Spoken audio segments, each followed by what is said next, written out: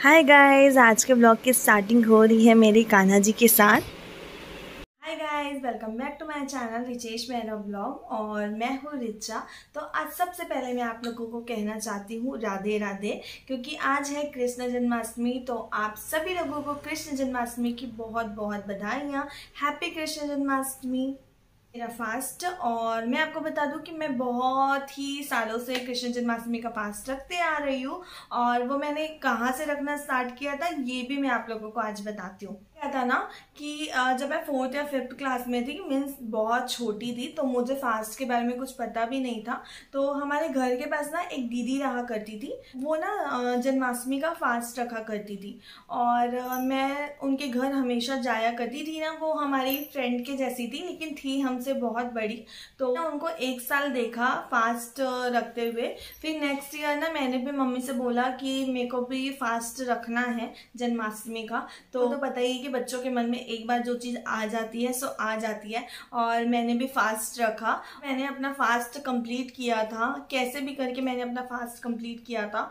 और उसके बाद से मैं कंटिन्यू रखते आ रही हूँ। आज तो मैं इतनी बड़ी हो चुकी हूँ। तो आप सोच सकते हैं कि मैं फोर्थ या फिफ्थ क्लास से मुझे एग्जैक्ट याद नहीं है कि कौन सी क्लास में थी बट फोर्थ या फिफ्थ में थी मैं। तो तब से मेरा फास्ट अभी तक कंटिन्यू चलता आ रहा है। मेरा लाइन से दो फास्ट हो जाता है एक दिन के गैप में।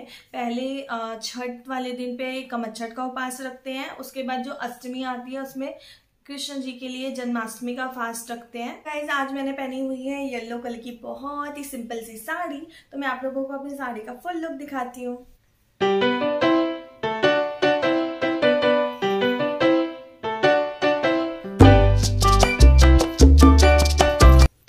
मैं बनाने वाली हूँ अपने लिए चाय, क्योंकि अब हो चुका है दोपहर। इसे बनाती हूँ अपने लिए चाय।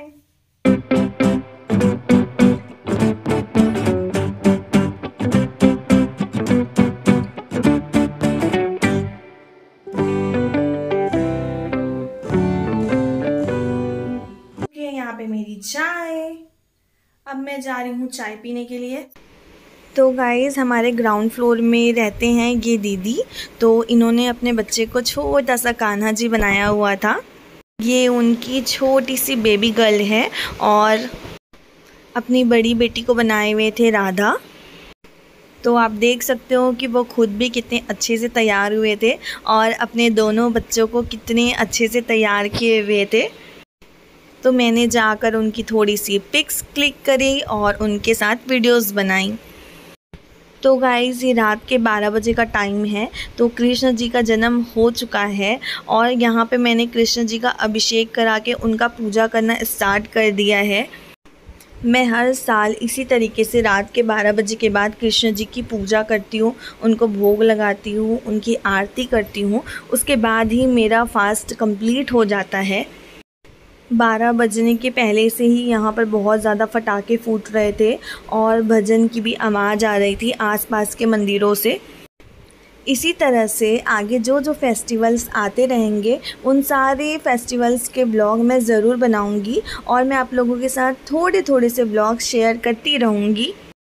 आई होप गाइस कि आप लोगों को मेरा आज का व्लॉग अच्छा लगा हो। और अगर अच्छा लगे तो please do like comment share and subscribe to my YouTube channel which is Richesh Mehra vlog तो कृष्ण जी की आरती के साथ मैं आज का व्लॉग एंड करती हूँ। मिलते हैं नेक्स्ट व्लॉग पे। बाय गाइस मेरा चैनल सब्सक्राइब करना ना भूलिएगा।